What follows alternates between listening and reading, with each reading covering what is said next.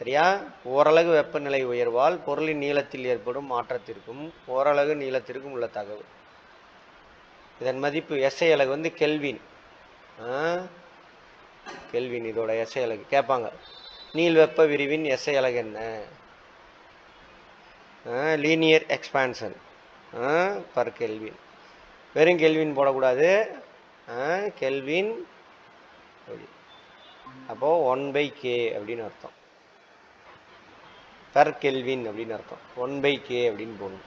ஓகேவா? சரி ரைட் இதுக்கான ஃபார்முலா இதுக்கான ஃபார்முலா நோட் பண்ணிக்கோங்க. இது வந்து என்ன சார் அப்படின்னா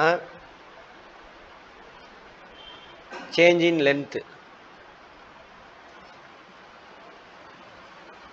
இது வந்து நீளத்தில் எவ்வளவு மாற்றம் அடைஞ்சிருக்கு? சூடு பண்ணுறதுக்கு முன்னாடி எவ்வளோ இருந்தது? சூடு பண்ணதுக்கப்புறம் எவ்வளோ இருக்குது ரெண்டோட டிஃப்ரென்ஸ் எடுக்கணும். சூடு பண்ணுறதுக்கு முன்னாடி மூணு மீட்ரு இருக்குதுன்னு வச்சுக்கோங்க.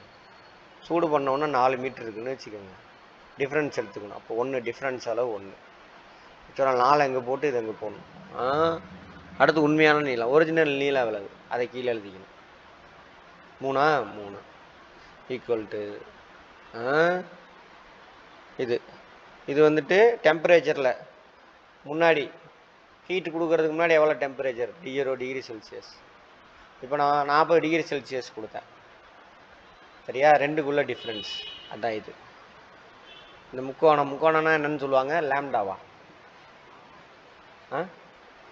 எப்படி போட்டாக்கா டிஃப்ரென்ஸ் ஆக்சுவலாக ரெண்டு நம்பருக்குள்ள டிஃப்ரென்ஸ் நீள் வெப்ப விரி குணகம்.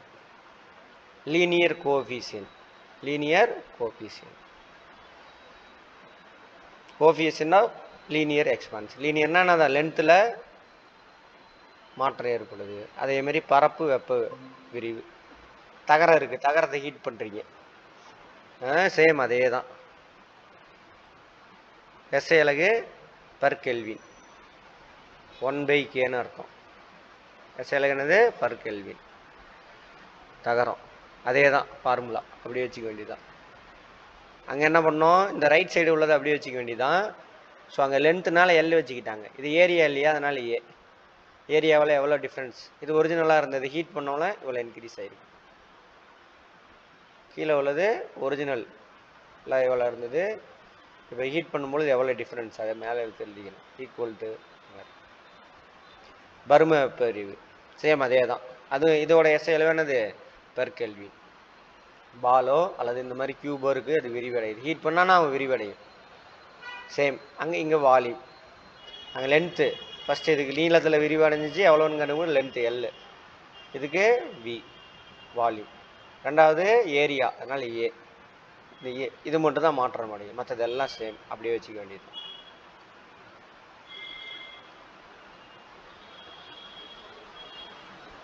பொருளுக்கு பொருள் பரும வெப்ப விரிவு குணகத்தின் மதிப்பீடு மாறுபடும். இங்கிலீஷில் பரும volume coefficient of cubical expansion cube volume வால்யூமோட இது என்னது? கியூப் தானே. அது பொருளுக்கு பொருள் மாறுபடும். அலுமினியம். அலுமினியத்தோட பரும வெப்ப விரிவு குணகம். ஒரு கெல்வின் ஆ சொல்லுங்க. எவ்வளோ நேரமாம்மா கேட்கல ஐயோ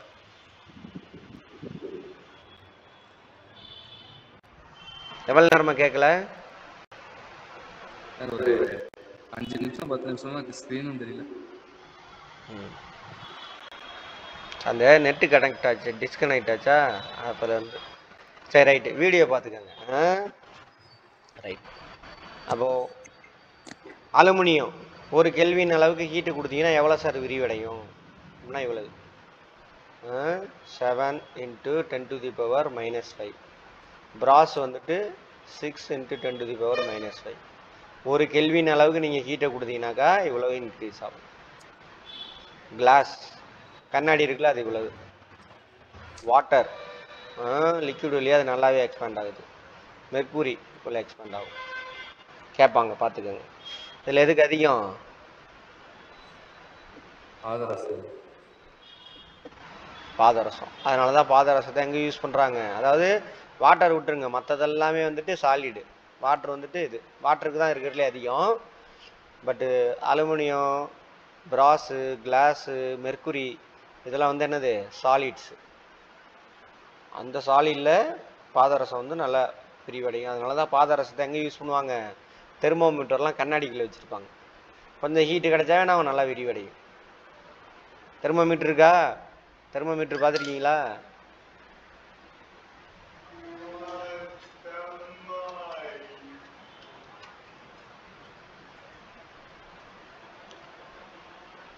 அதாவது இதில் உள்ளே இருக்கு பாருங்க. இதுதான் வாயில் வச்சோன்னா என்ன இங்கே தான் மெர்க்குரி இருக்கும். நம்ம ஹீட் ஈஸியாக அதுக்கு ட்ரான்ஸ்ஃபர் ஆகி அப்படியே விரிவடையும். வேறு எந்த பொருளும் இந்த மாதிரி வேகமாக விரிவடையாது. அதனால தான் எதை வச்சுருக்காங்க? மெர்க்குரி இந்த பாருங்க வெள்ளையாக இருக்குது பாருங்க. இதுக்குள்ள விரிவடைஞ்சு அப்படி போகும். இதை தான் நம்ம வாயில் வைப்பாங்க. பார்த்துருக்கீங்களா? காய்ச்சல் வரப்பெல்லாம். பார்க்காதவங்க வடிவேல் கூட ஒரு படத்தில் மென்று தின்றுவான் தெரியுமா? ஆ? என்னங்க டாக்டர் நான் என்ன என்னென்னு சொல்லுவான்? நான் ஏதோ மெடிசன் கொடுக்குறீங்க அப்படின்னு நினச்சி தின்னுபிட்டம்பான் ஆ? ஆமாவா கேட்குதா அடுத்து இது வந்துட்டு திடப்பொருளில் பார்த்தாச்சு. அடுத்து திரவம் வாயில் வெப்ப விரிவு எப்படி இருக்குது ஆ? திரவம் லிக்யூட்லையே கேஸில் எப்படி இருக்குது அப்படின்னு பார்ப்போம். திரவ அல்லது வாயு பொருட்களை வெப்பப்படுத்தும் பொழுது இது அவங்களோட நல்லா விரிவடையான்னு பார்த்தோம். சாலிட்டு தான் கம்மியாக விரிவடையும். அதே மாதிரி திரவம் வாயு. இதுக்குன்னு பர்டிகுலர் ஷேப் கிடையாது. திரவத்துக்கும் வாயுக்கும். சாலி லிக்யூடுக்கும் கேஸுக்கும் எந்த கண்டெய்னரில் வைக்கிறோமோ அந்த ஷேப்புக்கு வரும் அப்படின்னு பார்த்துருப்போம். அவற்றில் உள்ள அணுக்கள் ஆற்றலினை பெற்று விலக்கு விசை உட்படுகிறது. அதனால் எனர்ஜி கிடைச்சோன்னே என்ன பண்ணும் உள்ள வைப்ரேஷன் ஆகி எல்லோரும் தள்ளி தள்ளி விலகி போவாங்க. மனுஷனுக்கு பணம் கிடைச்ச மாதிரி பொருளுக்கு ஆற்றல். பொருள் விடிவடைவதன் அளவு பொருளுக்கு பொருள் மாறுபடும். எல்லா பொருளும். இங்கே பார்த்தோம் இல்லையா? வேறு வேறு பொருள். விரிவடைகிறது பொருளுக்கு பொருள் மாறுபடும் இருக்கிறதுலே கம்மி கண்ணாடிக்கு அதிகம் தண்ணிக்கு சாலிடில் அதிகம் பாதரசம்.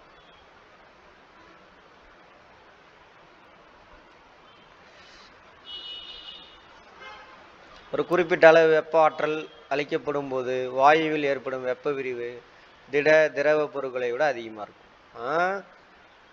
சாலியில் ரொம்ப கம்மியாக விரிவடையும். லிக்யூடு கொஞ்சம் நல்லாவே விரிவடையும். கேஸ் நல்லாவே விரிவடையும் திடப்பொருளை ஒப்பிடும் பொழுது திரவங்களில் ஆ, விரிவடைகிறது அதிகமாக இருக்கும். சரியா? பரும வெப்ப விரிவு குணகத்தின் மதிப்பு திரவத்தில் வெப்பநிலையை சார்ந்ததல்ல. ஆனால் வாயுவில் இதன் மதிப்பு வெப்பநிலையை சார்ந்து அமையும். பருமன் விரிவடையுது இல்லையா? சைஸு அது வாயுவோட வாயு வந்துட்டு விரிவடையுதுங்கிறது அதோட வெப்பநிலையை பொறுத்து விரிவடையுது அப்படிங்கிறாங்க. ஒரு கொள்கலனில் உள்ள திரவத்தினை வெப்பப்படுத்தும் பொழுது கொள்கலனின் வழியாக வெப்ப ஆற்றலானது திரவத்திற்கு அளிக்கப்படுகிறது. ஆமாம் தானே? அந்த பாத்திரத்து வழியாக அந்த பாத்திரத்து வழியாக தானே? இந்த பாத்திரம் பால் வச்சுருக்கீங்க. எரியுது.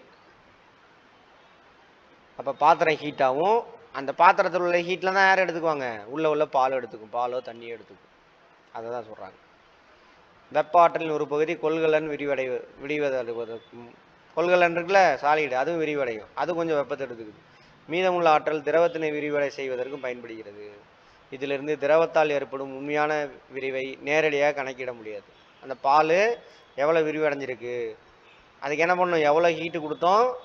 எவ்வளோ விரிவடைஞ்சிருக்குன்னு கண்டுபிடிக்கணும். ஆனால் நம்ம கொடுத்த ஹீட்டில் பாதி பாத்திரம் எடுத்துக்கிச்சு அதுவும் விரிவடையும். அப்போ பால் எவ்வளோ வெப்பத்தை எடுத்துக்கிட்டு எவ்வளோ விரிவடைஞ்சதுன்னு நேரடியாக கண்டுபிடிக்க முடியாது. அதனால தான் என்ன பண்ணுறாங்க வேற ஒரு உண்மை வெப்ப விரிவு மற்றும் தோற்ற வெப்ப விரிவு அப்படின்னு ரெண்டு இது சொல்கிறாங்க ஆக்சுவல் எக்ஸ்பான்ஷன் ஆஃப் லிக்யூடு சரியா? ரியல் எக்ஸ்பான்ஷன் சரியா? Hence for liquids we can define real expansion and apparent expansion. தோற்றம். விரிவு. பார்க்கறதுக்கு எப்படி இருக்கு? ஆனால் உண்மையாக எவ்வளோ விரிவு அடைஞ்சிருக்கு தோற்ற விரிவு இது ரியல் உண்மை விரிவு. நிறைய விஷயம்லாம் நமக்கு தேவையில்லை. ரொம்ப போகுது. உண்மை வெப்ப விரிவு. இதோட எஸ்ஐலகும் பர் கெல்வின் ஒரு கெல்வின் அளவுக்கு அதுக்கு வெப்பம் கொடுத்தா எவ்வளோ விரிவடையுது அப்படிங்கிறது. ஆ? ரைட் தோற்ற வெப்ப விரிவு.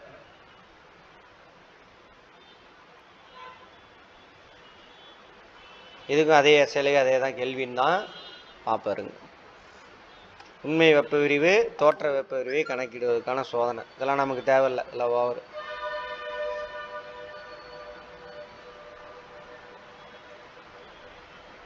அதெல்லாம் வேண்டாம் விட்டுருங்க அவ்வளோதான் per kelvin.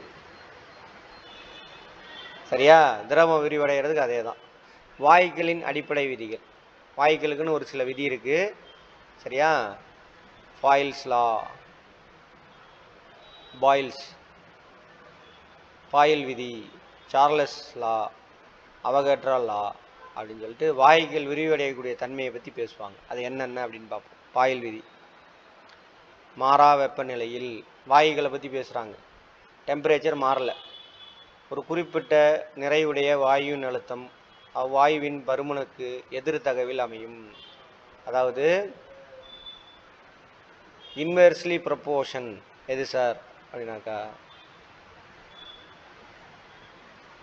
when temperature of a gas is kept constant மாறல டெம்பரேச்சரில் மாற்றல the volume of a fixed mass of gas is inversely proportional to its pressure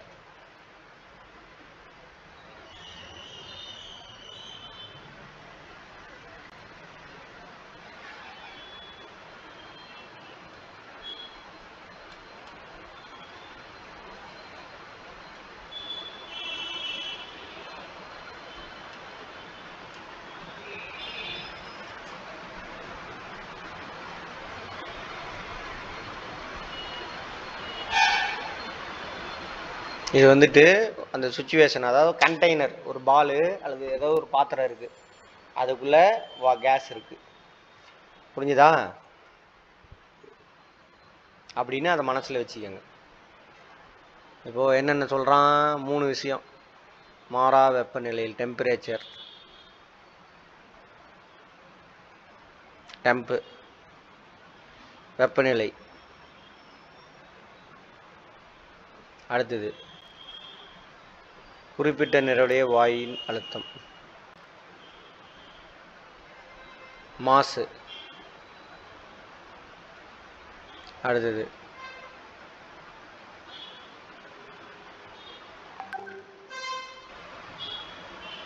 அடுத்தது அழுத்தம். அழுத்தம். அடுத்தது. அதாவது ப்ரெஷர் பருமன். நாலு விஷயம்.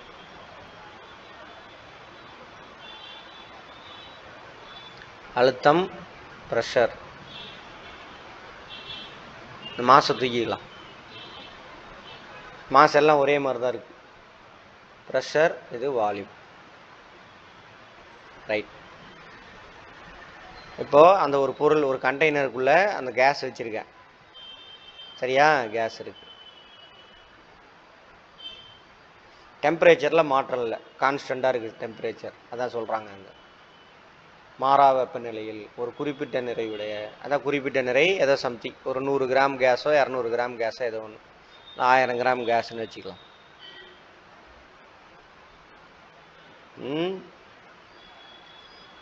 அந்த வாயுவோட அழுத்தம். ப்ரெஷர் அழுத்தம் இருக்கு இல்லையா? அந்த அழுத்தம் எப்படி இருக்காமா? டைரக்ட்லி ப்ரொபோஷனேட் அதாவது பருமன். சாரி இன்வெர்ஸ்லி ப்ரொபோஷனல் பருமன் இன்க்ரீஸ் ஆச்சுனாக்கா அழுத்தம் குறையும் அந்த பலூனில். சரியா? பருமனை குறைச்சிங்க அப்படின்னாக்கா அழுத்தம் அதிகமாகும். அவ்வளோதான் அதாவது இதுக்கு பேர் எதிர்த்தகவு இங்கிலீஷில் directly proportionate sir inversely proportionate எதிர்தகவு எதிர்தகவுனா என்ன சார்? இன்னொன்று நேர்தகவு ஒன்று ஏறினாக்கா இன்னொன்று இறங்கும். ஒன்று ஏறுனா இன்னொன்று இறங்கும். அது மாதிரி தான் எதிர்த்தகவு இங்கிலீஷில் inversely proportionate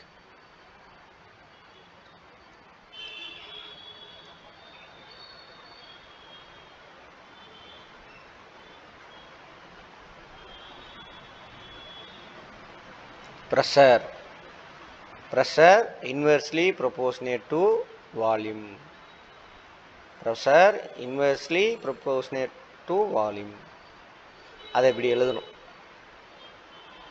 இப்போ இதை எப்படி எழுதணும் pressure inversely proportionate to volume அப்போ என்ன அர்த்தம் ப்ரெஷருக்கு தலைகளாக அல்லது வால்யூமுக்கு தலைகீழாக ப்ரெஷர் இருக்கும். வால்யூம். பருமன் அதிகமானுச்சுனாக்கா அழுத்தம் குறையும். பருமன் குறைஞ்சதுனாக்கா அழுத்தம் அதிகமாகும். சிம்பிள் இப்போது இதுதான் கண்டெய்னர் இந்த மாதிரி. ஒரு பலூன் ஒரு பலூனுக்குள்ளே கேஸ் இருக்குது இந்த கேஸ் அப்படியே ஒரு பெரிய பலூனில் ட்ரான்ஸ்ஃபர் பண்ணுங்கள் என்ன ஆகும் பலூனு தொலை தொலைன்னு ஆயிரும். இது இது ஒரு பலூனு இது பெரிய பலூனில் இதே கேஸை ட்ரான்ஸ்ஃபர் பண்ணுங்கள் ஏன்னா வால்யூம் பெருசாகிடுச்சா தொலை தொலைன்னு இருக்கும். அதை இந்த பலூன் என்ன பண்ணுங்க? சின்னது பண்ணுங்க. இந்த பலூனை பிடிச்சி அமுக்குங்க. வால்யூம் என்ன ஆகும்? பலூன் பலூனோட வால்யூமு குறையும். அப்போ பலூனுக்குள்ள எப்படி இருக்கும்? அழுத்தம் அதிகமாகும். அப்போ என்ன ஆகும் பலூனு வெடிச்சிரும். ஏன்? நம்ம அமுக்கும் பொழுது அதோட வால்யூம் குறையுது. குறைஞ்சதுனால உள்ளுக்குள்ள அழுத்தமாக என்ன பலூனு வெடிச்சிரும். அதுதான் முதல் விதி. என்ன விதி? பாயில் விதி அழுத்த விதி அப்படின்னு கூட சொல்லுவாங்க. சரியா? Boyle's law Boyle's law Boyle's law ஏதோ ஒன்று ரைட் அடுத்தது நாங்கள் போட்டிருக்காங்க பாருங்கள் இது ஒரு கண்டெய்னரு அதுக்குள்ளே கேஸ் இருக்குது இது இப்போ வால்யூம் இவ்வளோ இருக்குது இப்போ வால்யூம் என்ன பண்ணுறாங்க குறைக்கிறாங்க. இப்போ அந்த கண்டெய்னருக்குள்ளே எப்படி இருக்கும் அழுத்தம்? அதிகமாக இருக்கும். சரியா?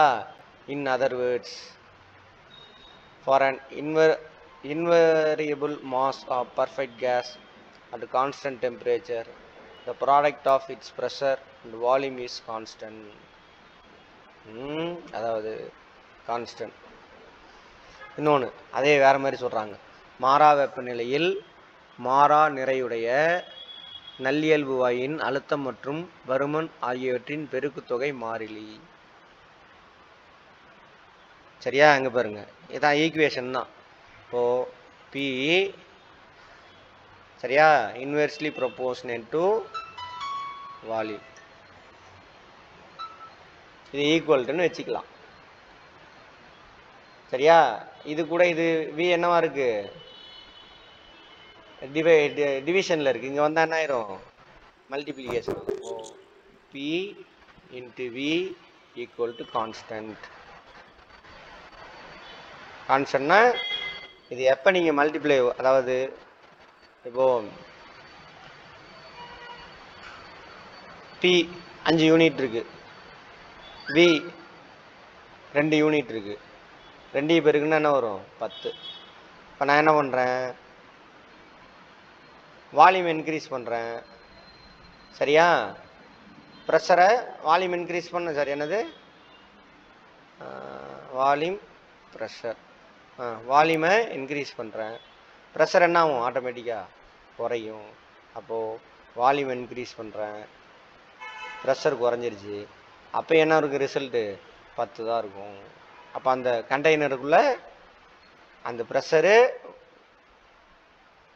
ப்ளஸ்ஸு வால்யூம் ரெண்டையும் மல்டிப்ளை பண்ணிங்கன்னா கிடைக்கக்கூடிய ரிசல்ட் எப்பயுமே எப்படி இருக்கும்? ஒரே மாதிரி தான் இருக்கும். அப்படின்னு சொல்கிறாங்க மாறா வெப்பநிலையில் மாறா நிறையுடைய டெம்பரேச்சரில் மாற்றம் இல்லை. மாசில் மாற்றம் கிடையாது. சரியா? அதோட அழுத்தம் மற்றும் பருமன். இவர் ரெண்டு பேருடைய பெருக்கு தொகை எப்பயுமே எப்படி இருக்கும்? ஒரே மாதிரி இருக்கும். மாறிலி கான்ஸ்டன்ட் ரெண்டையும் மல்டிப்ளை பண்ணி வந்துச்சுன்னா ரிசல்ட்டை ஒரே மாதிரி தான் இருக்கும். அப்படின்றாங்க. அடுத்து Charles law the law of volume இது பரும விதி. சார்லஸ் லாக்கு இன்னொரு பேர் என்னது? பரும விதி. Law of volume volume Charles law French அறிவியல் அறிஞர் ஜேக்கஸ் சார்லஸ் என்பவர் இவ்விதியினை நிறுவுகிறார் ஜேக்கப் சார்லஸர் நிறுவுகிறார் இந்த விதிப்படி மாறா அழுத்தத்தில் இப்போ என்ன பண்ணுறாங்க ப்ரெஷரில் சேஞ்ச் சேஞ்சு கிடையாது. அதே தான் அந்த அந்த இதுக்கே போகலாம் அதாங்க போட்டோம்.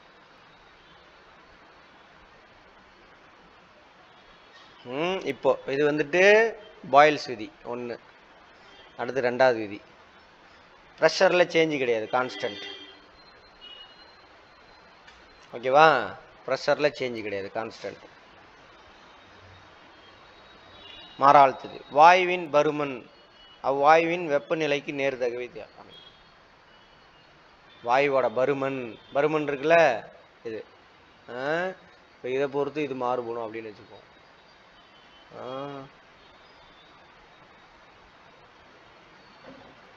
குறைஞ்சதுன்னா இன்க்ரீஸ் ஆகும் அந்த மாதிரி. அது மாதிரி. இங்கே. அழுத்தத்தில் மாற்றம் கிடையாது. இங்கே. ரெண்டாவது ஃபார்முலா ரெண்டாவது விதி. பரும விதி. அழுத்தத்தில் மாற்றம் கிடையாது. அழுத்தம் தானே போட்டிருக்கான். ஆ. மாறா அழுத்தத்தில் வாயுவின் பருமன். அவ்வாயுவின் வெப்பநிலைக்கு நேர்தகவில் இருக்கும். வாயுவோட பருமன் எப்படி இருக்குமாம்மா? வெப்பநிலை அதிகமாச்சுனாக்கா பருமன் அதிகமாகும். அதான் வால்யூம் அதிகமாகும். சரியா? வெப்பநிலை குறைஞ்சதுனாக்கா இதுவும் குறையும். ஏன்னாக்கா ஒரு பொருள் பார்த்துருக்கோம். இது கேஸ் தானே? ஹீட் ஆகும்பொழுது என்ன ஆகும்? மாலை மாலிகுல்லாம் தள்ளி தள்ளி போகும். தள்ளி தள்ளி போனான்னு அர்த்தம்.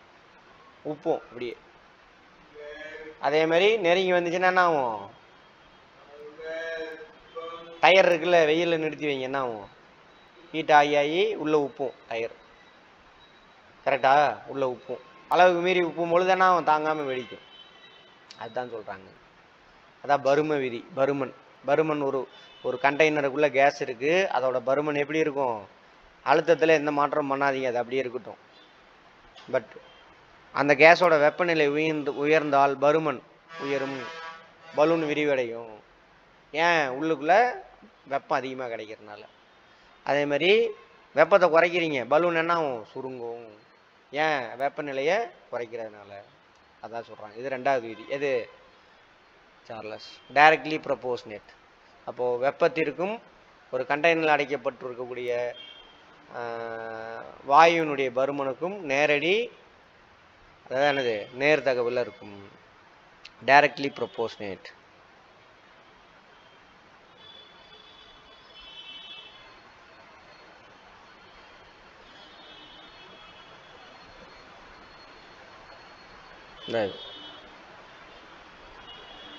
ம் சார்லஸில் தானே? டைரக்ட்லி ப்ரொபோஷனேட் இது எப்படி எழுதலாம்? வி ஈக்குவல் டு டி அப்படின்னு எழுதலாம் டைரக்ட்லி ப்ரொபோஷனா இப்படி போட்டோம்னா டைரக்ட்லின்னு அர்த்தம். அங்கே பெருக்கல்ல இருக்கிற மாதிரி அர்த்தம். இங்கே வந்தால் என்ன ஆயிரும்? டிவிஷனில் V equal to T equal to morally constant எப்பயுமே இதோட வேல்யூ ஒன்றா தான் இருக்கும். ரிசல்ட் இருக்குல்ல அது அது ரெண்டையும் பெருக்குனா பத்து வந்ததில் அது மாதிரி இதோட ரிசல்ட் எப்பயும் ஒன்றா தான் இருக்கும் கான்ஸ்டன்ட் ஃபார் எக்ஸாம்பிள் வால்யூம் பத்து டெம்பரேச்சர் ரெண்டுன்னு வச்சுக்கோங்க. வால்யூம் பத்து டெம்பரேச்சர் ரெண்டு. அடிச்சிங்கன்னா ரிசல்ட் என்ன வரும்? அஞ்சா? அதே மாதிரி வால்யூம் பதினஞ்சு அப்போ டெம்பரேச்சர் மூணாக இருக்கும். அடிச்சிங்கன்னா என்ன வரும்? அஞ்சு தான் வரும். அதே வால்யூம் இருபது டெம்பரேச்சர் நாலாக இருக்குது அடிச்சிங்கன்னா என்ன வரும்? அதே அஞ்சு தான் வரும். அதான் சொல்கிறாங்க அடுத்தது. அவகேட்ரா விதி ரொம்ப முக்கியமானது. லா ஆஃப் அவகேட்ராஸ் இது மூணையும் வச்சு ஐடியல் கேஸோட ஃபார்முலா கொண்டு வருவாங்க. அவகேட்ரா நம்பர் ஒரு கூலம் அப்படின்னு பார்த்துருப்போம் ஒரு சாரி ஒரு மோலா ஒரு மோல் அப்படின்னு பார்த்துருப்போம். அவகேட்ரா சொல்கிறாரு படி மாறா வெப்பநிலையில் வெப்பநிலை மாறாமல் இருக்குது டெம்பரேச்சரில் நோ சேஞ்ச் அங்கே போங்க. மூணாவது விதி. டெம்பரேச்சர் எங்கே இருக்குது இங்கே. டெம்பரேச்சர் இங்கே. கான்ஸ்டண்ட்டாக இருக்குது ஓகே அடுத்தது.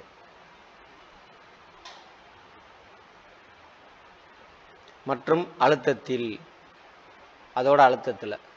வாயுவின் பருமன் அவ்வாயுள்ள அணுக்கள் அல்ல மூலக்கூறின் எண்ணிக்கைக்கு நேருதகவில் அமையும். ரைட் ஓகே அடுத்தது. ஆ? வால்யூம் அங்கே வச்சுருக்கோம்ல ஒன் கிராம் அதே மாதிரி என்ன கிடையாது? மற்றும் அழுத்தத்தில் மாறா அழுத்தம். நோ சேஞ்ச் இன் ப்ரெஷர் ப்ரெஷர்லையும் என்ன பண்ணல? மாற்றம் இல்லை. இதுலேயும் மாற்றம் இல்லை இதுலேயும் மாற்றம் இல்லை. பட் என்ன பண்ணுறோம் இதை மாற்றத்தை கொண்டு வரோம் எதை? மாஸ் நிறை இருக்குல்ல நிறை. நிறையை வந்து அதிகப்படுத்துகிறோம் அதிகப்படுத்தினா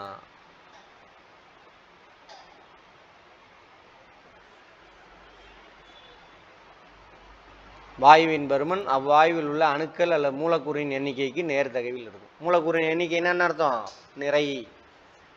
புரிஞ்சுதா? மூலக்கூறு எண்ணிக்கை என்னது நிறை. நிறைய இன்க்ரீஸ் பண்ணிங்கனாக்கா பருமன் இன்க்ரீஸ் ஆகும். நிறைய டிக்ரீஸ் பண்ணிங்கனாக்கா பருமனும் டிக்ரீஸ் ஆகும். அப்படின்னு சொல்கிறார் அதான் அவைகேற்றாயன் ஆ அவைகேற்றாத சொல்கிறாரு சரியா? இதில் இவர் எதை சொல்கிறாரு வெப்பநிலை மாறல. ஒரு குறிப்பிட்ட நிறை கொண்ட ஒரு பொருள் வெப்பநிலையை மாற்றாமல் வச்சுருக்கோம். சரியா? அந்த கண்டெய்னருக்குள்ளே இருக்கக்கூடிய கேஸ். அந்த கேஸோட வால்யூமை குறைச்சிங்கனாக்கா அந்த கண்டெய்னருக்குள்ளே அந்த பலூனுக்குள்ளே அழுத்தம் அதிகமாகும். சரியா? வால்யூம் இன்க்ரீஸ் பண்ணினாக்கா கண்டெய்னருக்குள்ளே அழுத்தம் குறையும். இது முதல் விதி. இது யார் சொன்னது? பாயில் விதி. பாயில்ஸ்லாம் அடுத்து ரெண்டாவது சார்லஸ். சார்லஸ் என்ன சொல்கிறாரு சார்லஸ் பரும விதி பரும விதி இன்னொரு பேர் என்ன volume. Law of volume Charles law. அவர் என்ன சொல்கிறாரு அழுத்தத்தை கான்ஸ்டண்ட்டாக வச்சுக்கோங்க. மெட்டீரியலும் மாசம் கான்ஸ்டண்ட்டாக வச்சுக்கோங்க. சரியா? அந்த கண்டெய்னருக்குள்ள உள்ள கேஸோட வெப்பநிலை அதிகமாச்சுனாக்கா அந்த கண்டெய்னருக்குள்ளே அழுத்தம் அதிகமாகும். அந்த கண்டெய்னருக்குள்ளே உள்ள கேஸோட டெம்பரேச்சர் குறைஞ்சதுனாக்கா அந்த கண்டெய்னருக்குள்ள அழுத்தம் என்ன ஆகும்? குறையும் அப்படிங்கிறாரு. சாரி பருமன் பருமன். அழுத்தம் இல்லை பருமன். ரெண்டாவது. கண்டெய்னருக்குள்ள வெப்பநிலை இன்க்ரீஸ் ஆனாக்கா அந்த கண்டெய்னருடைய பருமன் அதிகமாகும். அல்லது வாயுவோட பருமன் அதிகமாகும். டெம்பரேச்சர் குறைஞ்சதுனாக்கா அந்த வாயு அல்லது ஆமாம் குறையும். அடுத்து மூணாவது. வெப்பநிலையை கான்ஸ்டண்ட்டாக வச்சுக்கோங்க. அந்த கேஸோட டெம்பரேச்சரை கான்ஸ்டண்ட்டாக வச்சுக்கிறோம். ப்ரெஷர் இதுவும் கான்ஸ்டண்ட்டாக இருக்கும். எந்த மாற்றமும் கிடையாது. சரியா? அந்த கேஸோட நிறைய இன்க்ரீஸ் பண்ணோம்னாக்கா அதோட பருமன் அதிகமாகும். சரியா? அந்த பார்ட்டிகளுடைய நம்பர்ஸை குறைச்சோம். நிறைய என்னென்ன அந்த பார்ட்டிகள் நம்பர்ஸை குறைச்சோம்னா அதோட பருமன் குறையும். அப்படிங்கிறார். யார் சொல்கிறா அவ கேட்டா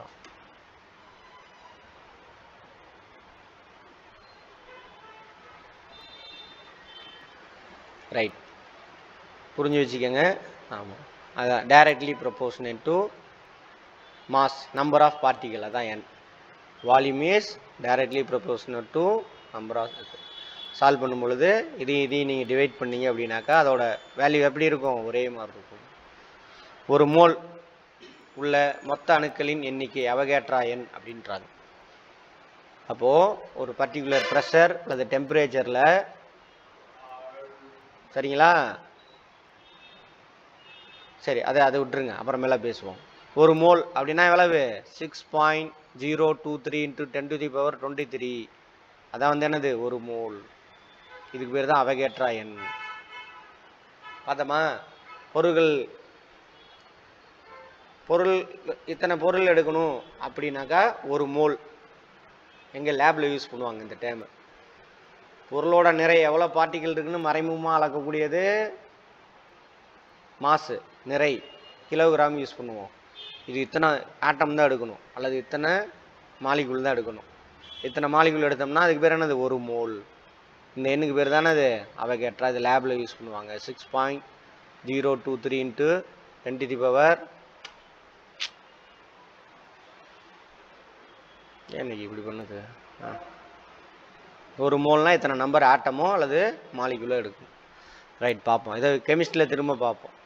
வாயுக்கள் வாயுக்கள் இயல்பு வாயுக்கள் மற்றும் நல்லியல்பு வாய்ப்புகள் என இரு வகையாக பிரிக்கலாம். இயல்பு வாயுக்கள்.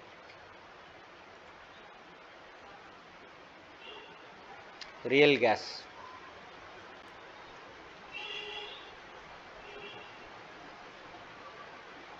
குறிப்பிட்ட கவர்ச்சி விசையினால் ஒன்றோடொன்று இடைவினை புரிந்து கொண்டிருக்கும் அணுக்கள் அல்லது மூலக்கூறுகள் அடங்கிய வாயுக்கள் இயல்பு வாயுக்கள்.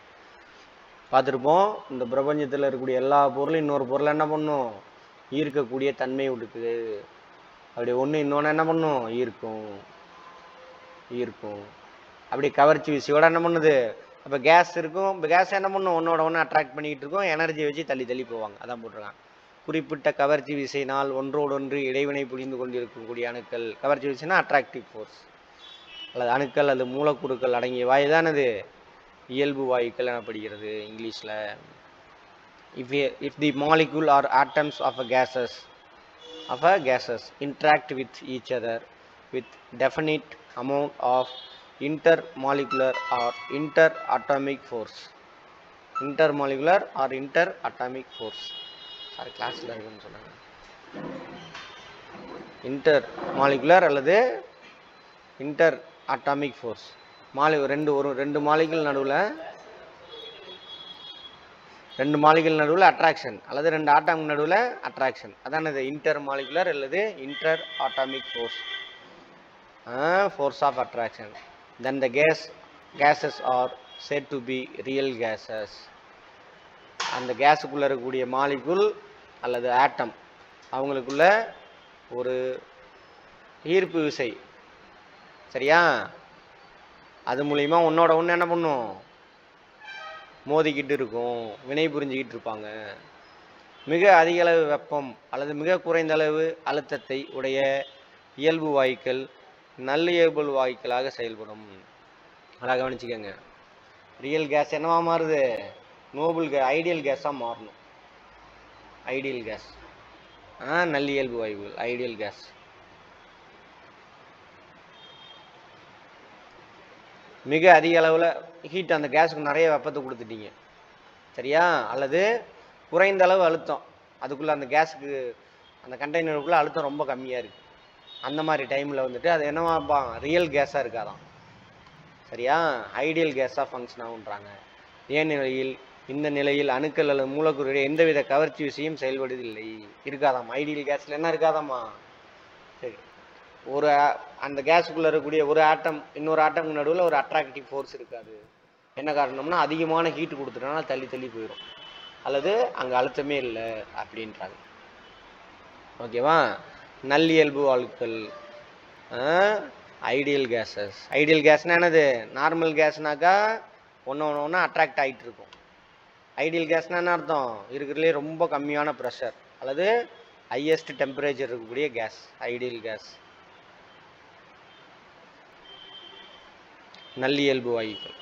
அதோட இயல்பு எப்படி இருக்கும்னு சொல்கிறாங்க ஒன்றோடு ஒன்று இடைவினை புரியாமல் அதான் ஒன்றோட ஒன்று என்னாவாது? அழுத்தம் அதிக ரொம்ப கம்மியான அழுத்தம் அல்லது அதிகமான அட்ராக்டிவ் ஃபோர்ஸ் சரி அதிகமான டெம்பரேச்சர் இதனால ஒ- ஒரு அந்த கேஸ்குள்ளே இருக்கக்கூடிய ஒரு ஆட்டம் இன்னொரு ஆட்டம்னா என்ன பண்ணாது? அட்ராக்ட் பண்ணாது.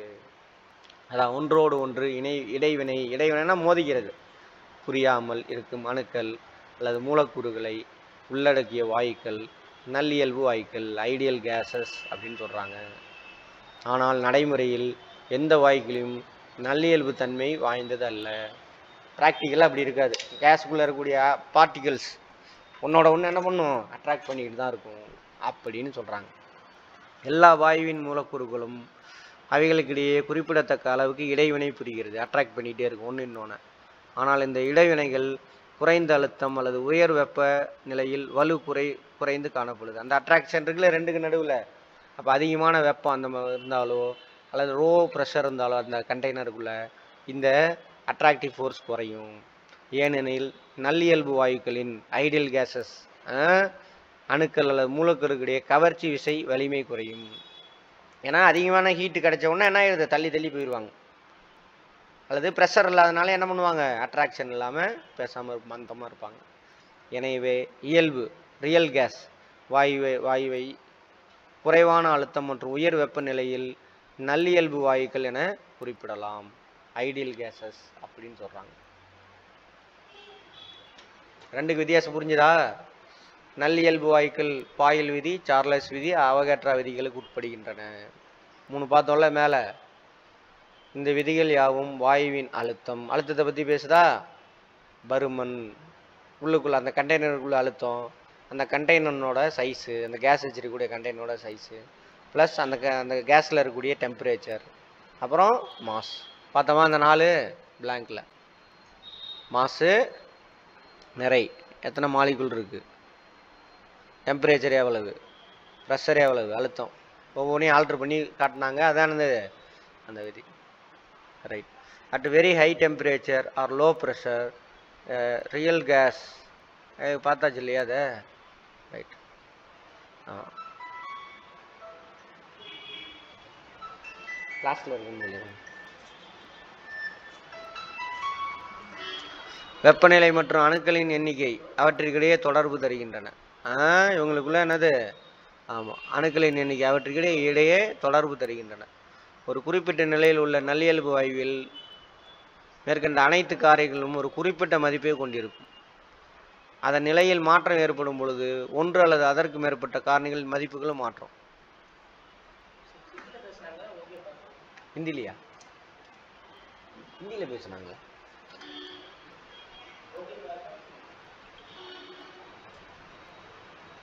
யார் லேடியா?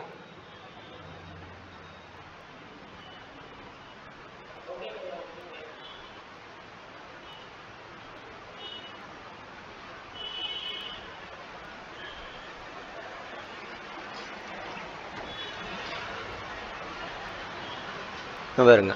இந்த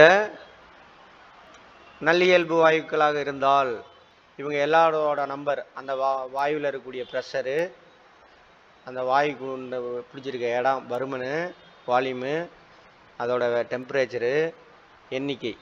அதில் இருக்கக்கூடிய ஆட்டம் அல்லது மாலிகுலுடைய எண்ணிக்கை. இதெல்லாம் ஒரு நம்பர் பர்டிகுலர் நம்பர்ஸ் இருக்கும் அதுக்கு. அதுக்குன்னு ஒரு வேல்யூ இருக்கும் அப்படின்றாங்க. இதில் ஏதாவது ஒன்றில் மாற்றம் அடைஞ்சால் மற்றதோட நம்பர்ஸும் வேல்யூ என்ன மாறுபடும் அப்படிங்கிறார். போட்டிருக்குங்க பாருங்க. அதன் நிலையில் மாற்றம் ஏற்படும் பொழுது ஒன்று அல்லது அதற்கு மேற்பட்ட காரணிகளின் மதிப்புகளும் என்ன? மாற்றம் ஏற்படுகிறது. இந்த மாற்றத்தை மேற்காணும் மூன்று விதிகளும் தொடர்புபடுத்துகிறது. எந்த விதி? சார்லஸ் விதி பாயில் விதி அவகேட்ரா விதி. பாயில் விதிப்படி இது. பாயில் விதி தானே? பி இன்ட்டு வி சார்லஸ் விதி வி பை டி அவகற்ற விதி வி பை என் இது மூணு ஈக்குவே ஈக்குவேஷன் கொண்டுட்டு வராங்க. சமன்பாட்டுக்கு கொண்டுட்டு வராங்க. சமன்பாட்டுக்கு வந்ததுன்னா என்ன ஆகுது PV divided by nT equal to மாறிலின்னு மாறுது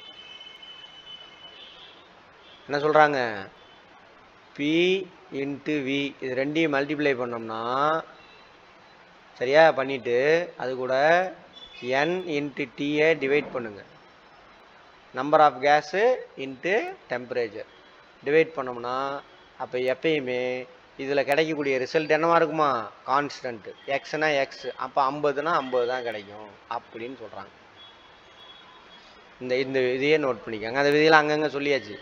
இதையும் நோட் பண்ணிக்கோங்க. இதுக்கு பேர் என்னது? அதாவது நல்லியல்பு வாயு சமன்பாடு. நல்லியல்பு வாயு சமன்பாடு. இங்கிலீஷில் ஐடியல் கேஸ் ஈக்குவேஷன் ஐடியல் கேஸோட ஈக்குவேஷன் என்னது? PV into sorry PV divided by nT equal to constant இதுதான்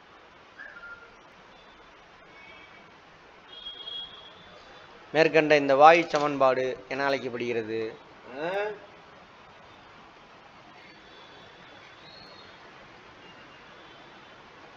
ஈக்குவேஷன் ஐடியல் கேஸ் ஈக்குவேஷன் அப்படின்றாங்க. ரைட் எம் அப்படின்னா மோல் அளவுள்ள வாயுவினை கொண்டிருக்கும் வாயுக்களில் உள்ள மொத்த அணுக்களின் எண்ணிக்கை அவகேட்ரா எண். கவனிங்க ஒரு மோல் அளவுள்ள வாயுவினை கொண்டிருக்கும் வாயுக்களில் உள்ள மொத்த அணுக்களின் எண்ணிக்கை அவகேட்ரா எண். என்னது அவகேட்ரா எண்ணா? தானே பார்த்தோம். சிக்ஸ் பாயிண்ட் இந்த அவகேட்ரா எண். சரியா? இது ஒரு மோல் நம்பர் இந்த நம்பர் பேர் என்ன? Mole. Six point zero two three into ten to the power twenty three அப்படின்னா என்னது? ஒரு மோல் அப்படின்னு அர்த்தம். இதுதான் அவகேட்ரா எண். அவ்வளோதான் அவகேட்ரா எண்ணின் சரியாக போச்சு. இந்த மதிப்பானது ரைட் அவ்வளோதான்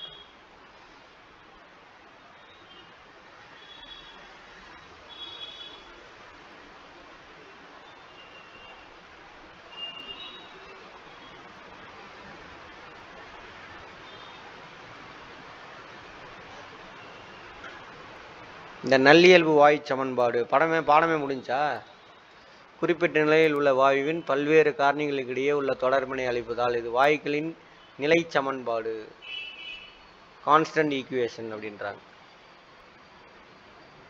இச்சமன்பாடு எந்த ஒரு வாயுக்களின் நிலையையும் விவரிக்க உதவுது இந்த சமன்பாடு. இது இந்த வாயு சமன்பாடு இருக்குல்ல அதை வச்சுட்டு இப்போ கேஸாக இருக்கும் அது அது லேபில் யூஸ் பண்ணுவாங்கன்னு வச்சுக்கோங்களேன். இங்கே முக்கியமானது அவ்வளோதான் இதை நோட் பண்ணிக்கோங்க இதெல்லாம் ஒவ்வொன்றும். அவ்வளோதான் இப்போ என்ன பார்த்தோம்? வெப்பம் ஹீட்டு அப்புறம் டெம்பரேச்சர் வெப்பநிலை பொருள். ஒன்று ஹீட் ஆனிச்சுனாக்கா அதோட வாயு விரிவு சாரி வால்யூம் பருமன் பெருசாகும் பரப்பு பெருசாகும்.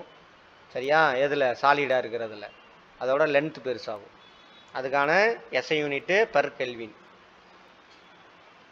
அதே மாதிரி வாட்டருக்கு பார்த்தோம். அப்புறம் கேஸுக்கு பார்த்தோம். கேஸில் வந்துட்டு மூன்று விதமான விதிகள் பார்த்துருக்கோம். சார்லஸ் விதி அதுக்கு முன்னாடி பாயில் விதி சார்லஸ் விதி அப்புறம் அவகேட்ரா எண் இந்த மூன்று விதியும் ஈக்குவேஷன் பண்ணி கொண்டு வந்தோம்னா அதுக்கு பேர் என்னது? நல்லியல்பு வாயு சமன்பாடு. ஐடியல் கேஸ் ஈக்குவேஷன் நார்மலாக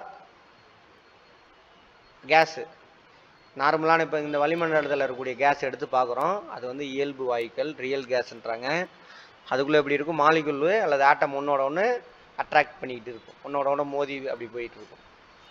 பட் நல்லியல்பு வாயுவாக அங்கே இருக்காது. நோபல் கேஸ் ஐடியல் கேஸாக இருக்காது.